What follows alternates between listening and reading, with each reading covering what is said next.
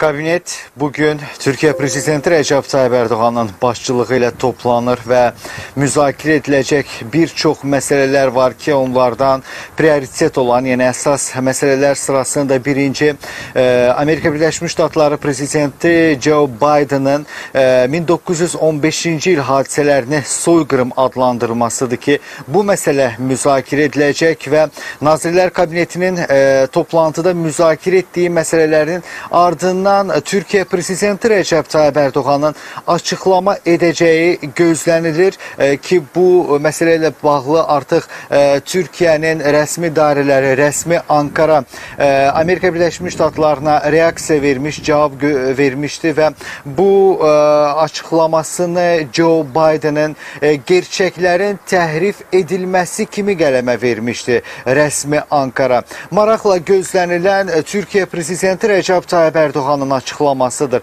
Təxminən yerli vaxtla saat 18.00'da e, Türkiye Prezidentinin Nazirlər Kabinetinin toplantısından dərhal sonra bir açıklama edeceği gözlənilir. Bu arada e, Türkiye Prezident Administrasiyasının İctimaiyyətlə Əlaqələr İdarəsinin e, rəhbəri Fəxrəddin Altun az önce bir açıklama etti ve həmin o açıklamanı eşidək.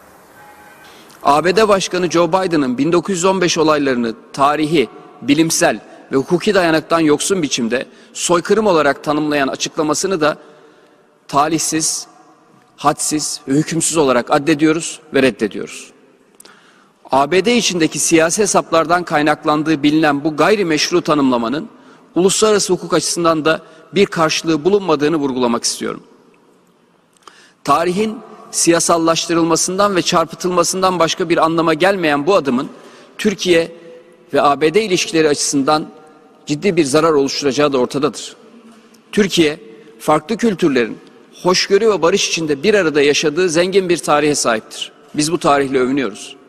Sözde soykırım iddiaları gibi tarihsel gerçeklikten yoksun popülist söylemler bu topraklardaki ilmek ilmek ördüğümüz birlikte yaşama kültürümüze bir saldırıdır. Fakat bu saldırılar da bizim kardeşliğimize zarar veremeyecektir. Aksine bağlarımızı daha da pekiştirecektir. Türk milleti tüm etnik, dini ve kültürel unsurlarıyla bir bütündür, birdir. Güçlüdür. Bizim tarihimizde kölelik yoktur, ırkçılık yoktur, ayrımcılık yoktur, soykırım yoktur, olmamıştır. Bizim emperyalistlerin masasına meze yapacak bir tek vatandaşımız dahi yoktur. Ülkemize soykırım yalanıyla saldıranlara inat, birbirimize daha sıkı sarılacağız. Bir avuç lobicinin dolaşıma soktuğu iftiraları tarih zannedenler, böylece Türk milletinden intikam almaya çalışanlar kendi kazdıkları kuyuya düşecektir. Bizim abdestimizden şüphemiz yoktur. Sayın Cumhurbaşkanımız defalarca Ermenistan'ı ve diğer devletleri arşivlerini açmaya çağırdı. Tarihçilerden oluşan ortak bir komisyon kurmayı teklif etti. Ancak yalanlarının ortaya çıkmasından korkanlar ne yaptılar? Bu teklifleri her defasında cevapsız bıraktılar. Batılı ülkelerde rahat rahat yaşayan Ermeni diasporası Ermenistan'da yaşayanlara en büyük zulmü yaparken anlattıkları masallarla da genç nesilleri zehirlemeye devam ediyor. Türkiye, Ermenistan dahil hiçbir ülkeye karşı kim ve düşmanlık beslemiyor. Azerbaycan topraklarının işgalden kurtarılmasıyla birlikte ise Kafkasya'da barış ve istikrar için büyük bir adım atıldığını vurgulamak istiyoruz. Ermenistan halkının diasporadan kurtarılması barış için ön şarttır.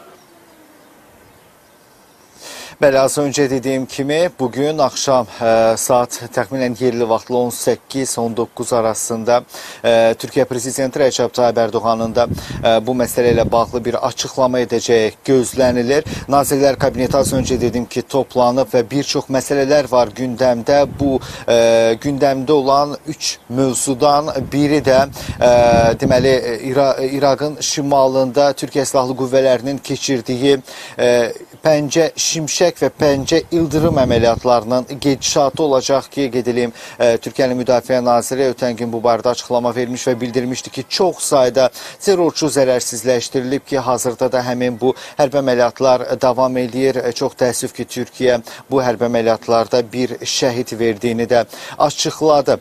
E, Axşam saatlarında olacaq açıqlamada həm də gözlənilən Türkiyənin COVID-19-la mübarizəsindəki əldə etdiyi nəticələrdir. Bundan sonra ə, ölkədə ə, qapanma olacaqmı yoxsa yox? Çünki artıq 2 həftədir Türkiyədə qismi qapanma həyata keçirilir ki, bu da yoluxma sayında öz təsirini göstərib. Və bu gün Türkiyə Böyük Millət Məclisində də bir vacib panel var. Ə, belə ki, Ermənistanın müharibə cinayətləri mövzusunda xüsusi proqram olacaq Türkiyə Böyük Millət Məclisində ə, və parlamentin rəhbəri Mustafa Şentopun da iştirakı ilə keçiriləcək proqrama rəsmi şəxslərin, diplomatların, elm adamlarının qatılması nəzərdə tutulub. Ə, Proqrama 2-ci Qarabağ müharibəsi və Ermənistanın müharibə cinayətləri mövzusunda panel, müharibə cinayətləri şüarı altında foto sərgi də daxildir.